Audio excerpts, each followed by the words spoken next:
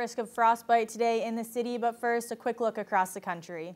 In Vancouver right now, they're getting a small break from the rain before it starts again by morning with another 10 to 15 millimeters expected for them tomorrow. And Calgary sitting above zero at 4 degrees. In Toronto, sitting at minus 9, feeling like minus 23 with the wind chill, and in Ottawa, sitting at minus 14. As we head into the Maritimes, Fredericton seeing a little bit of flurries, and Saint John sitting at minus 2 with a blowing snow advisory tonight, with another 10 to 15 centimeters of snow, changing to rain by morning.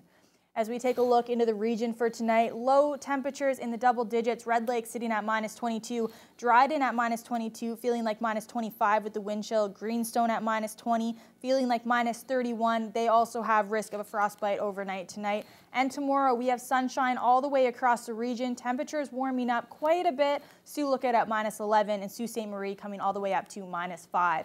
At this hour in Thunder Bay, minus 17, feeling like minus 21 with those west winds coming in at 8 kilometers an hour. Tonight, temperatures dropping down to minus 20, feeling like minus 29 with the wind chill. That's the coldest it's been in a few days here, but clear skies.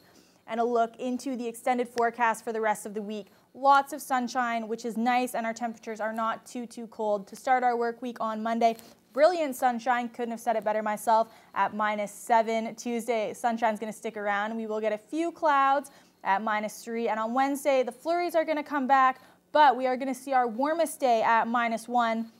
So even with that flurries, it's not that bad. A little bit of everything, but the sunshine. I like the sunshine. For mid to late January, I mean, that's pretty good.